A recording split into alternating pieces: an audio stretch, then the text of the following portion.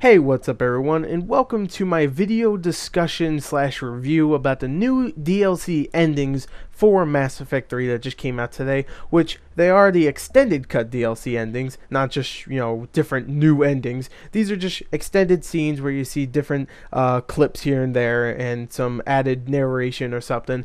And this, of course, is here because many people hated the original Mass Effect 3 endings, and there was a good reason for. I mean, I didn't hate them, but I could see why everybody hated them. I thought it had some nice closure here and there, some cool uh, scenes in the ending, and it actually it, it, managed to you know draw up some emotion for me. So I still I still like them, but these new extended DLC cut endings were definitely needed in my opinion. But the question is, are these endings good? Well, I'm going to tell you right here. I'm not actually going to sit here and explain each one of these endings. I'm just going to tell you really quick what I think of the endings as a whole and if they are better than the original endings for Mass Effect 3. So sorry, I'm not really here to explain it or even show you the endings, but I'm going to tell you what I think of them anyway. And you know what? In the description, I'll actually you know, throw all the links for each one of the new endings. If you are one of those Mass Effect 3 players that decided to sell your game or you don't want to spend more time with the game anymore and you just want to see the endings,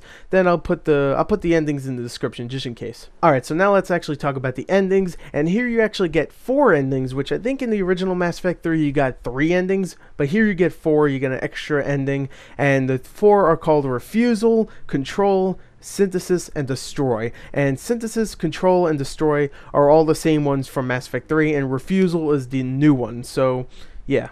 And all four of the endings try to give more insight and uh, try to fix some of the plot holes that the endings for Mass Effect 3 caused.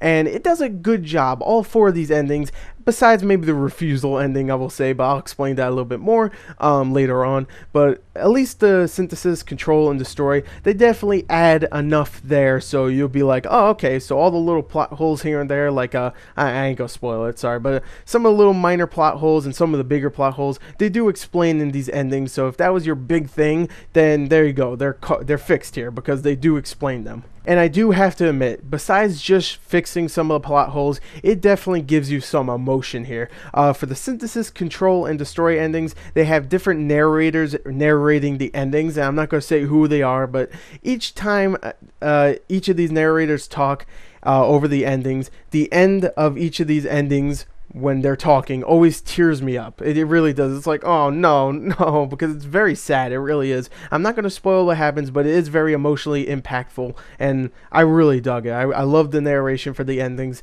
but there is a couple of problems with the these endings. One problem I had is that they re- recycle footage for each one of these endings besides the refusal ending. Synthesis, control, and destroy all use the same footage, and sometimes it's, of course, like I said, narrated over, so it's a little different because there's different narration, but you'll still see the same clips and stuff, which I really did not like. Uh, I, I felt it was a little bit lazy, and it felt like it was just being rushed out so people could stop freaking complaining and stop hating on BioWare, which I, I get if they were trying to rush it out because of that. But either way, I still found it to be a little bit lazy. And my second problem is that they show a portion in the ending. Again, I don't want to spoil anything, so I'll keep it very discreet.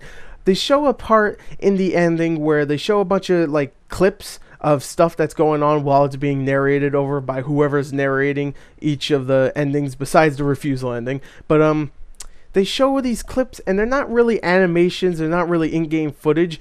It's it's more like they're pictures but they're pictures in a comic book style, so it feels very lazy because all it is is pictures being narrated over for the ending, and it definitely does not feel like it should be for a Mass Effect game. A big budget sci fi epic ends with a bunch of pictures being narrated over, which I just felt was very, very lame. Again, that's kind of hard to explain, but if you played these endings, you know what I'm talking about.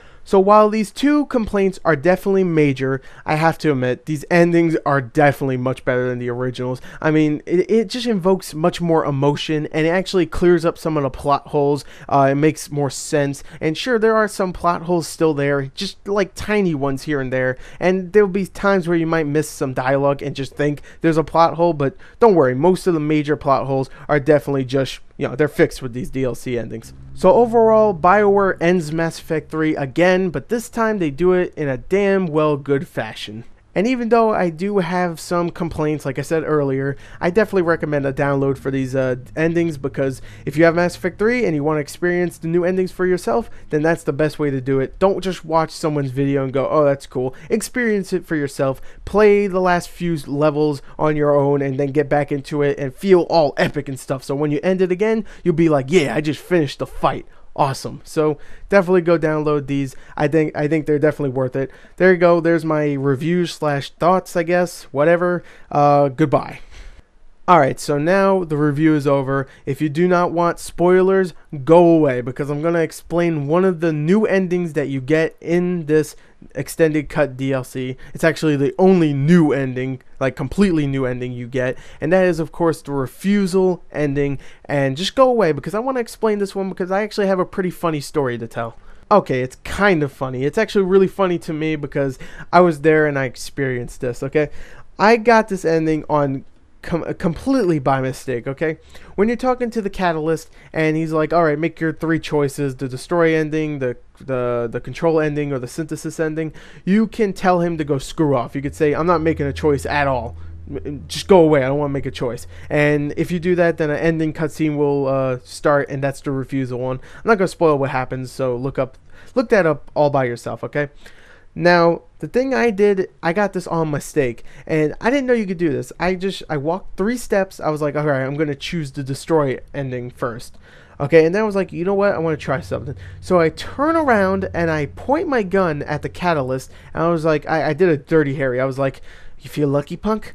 I was like, you feel lucky, huh? And I shot him. I was like, hey, that was funny. And then out of nowhere, a cutscene started. I was like, wait, what? But but I didn't want that to happen. So what happens is that I shot him. He says, "Screw you, then," and he actually starts talking like the Harbinger, the main bad guy of Mass Effect 2, um, and he's also in Mass Effect 3 as well. But uh, uh, he starts talking like Harbinger, and that makes me think, oh wait, is this the is this really the indoctrination theory? Maybe. I don't know. So anyway, that happens, and I'm confused, and then the game ends. I'm like, oh shit. I, I, guess I have to play this over again.